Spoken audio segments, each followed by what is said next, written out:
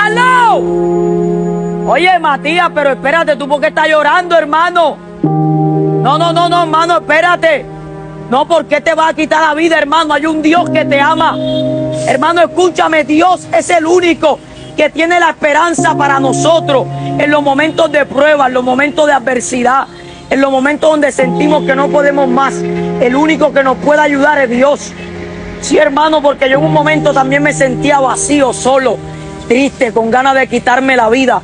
Pero la palabra de Dios me dio la esperanza que yo necesitaba para vivir. Sí, hermano, por eso es que yo te he predicado tanto y te he hablado de Jesús.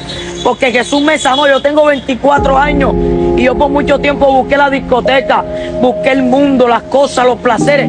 Tú sabes cómo los jóvenes hoy en día están viviendo.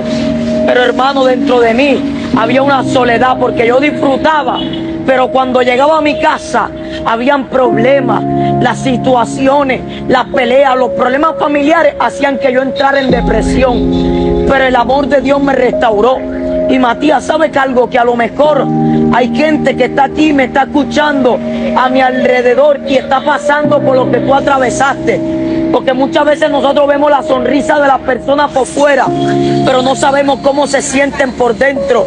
Pero escúchame, el Dios que yo conozco sabe y conoce cada una de nuestras batallas y de nuestras luchas. Sabe cómo nos sentimos cuando nadie nos ve. Y por eso, Matías, yo quiero hacer una oración por ti. Porque yo sé que Dios te va a levantar. ¿Te acuerdas que el fin de semana yo te dije, vamos para la iglesia? Y tú me dijiste, no, hermano, que yo tengo una fiesta. Y mira cómo te sientes hoy. Porque yo también muchas veces rechacé a Dios y dije, no, yo ahora no voy a buscar a Dios. Pero Dios tenía lo que yo necesitaba. Por eso quiero decirte, Matías, que Dios te ama. Y quiero decirte de que hay una esperanza y no todo está perdido. Sea cual sea la situación, no es una razón para quitarte la vida, hermano. Dios te ama, yo quiero orar por ti. Padre, lloro por la vida de tu hijo. Te pido que tu presencia le llene y le abrace. Y si hay alguien que me está escuchando, Dios que escuche el timbre de mi voz, que está pasando por depresión, por la soledad, por la angustia, por la tristeza, yo te pido que tu amor le llene y le abrace. Llévate la soledad, llévate el rencor, llévate el odio, el resentimiento y que tu amor llene cada corazón. Padre, declaro tu amor sobre la vida de tu hijo. En el nombre de su hermano te espero en la iglesia este fin de semana. Es tiempo de acercarnos a Dios. Porque el único que está cuando todos se van es Dios. Que Dios te bendiga, hermano. Gente que me están oyendo aquí, que escucha el timbre de mi voz. Yo no le he venido a cobrarle nada. Solamente quiero que usted recuerde que hay un Dios que le ama. Nunca está de más recordar porque en la vida pasamos por procesos, momentos duros y a veces no sabemos ni qué hacer, ni a dónde ir.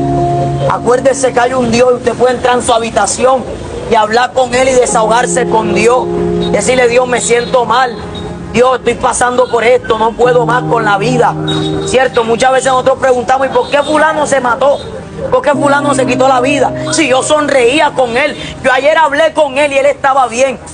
Porque escúcheme algo, caras vemos, pero problemas internos nosotros no lo sabemos. A lo mejor es que usted tiene al lado, está teniendo una lucha y usted ni sabe por lo que está pasando. Y por eso yo traigo este mensaje y esta palabra con todo el amor del mundo y espero que esta semilla usted la guarde y la atesore en su corazón.